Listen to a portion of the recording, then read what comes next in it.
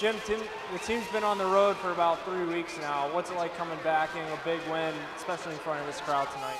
Uh, yeah, like you said, it's definitely easier uh, playing at home, especially after a long trip. So it's good to be back. Walk us through. The first goal was pretty. The second one, though, kind of got more life. Give the uh, team some more life. Walk us through your second goal.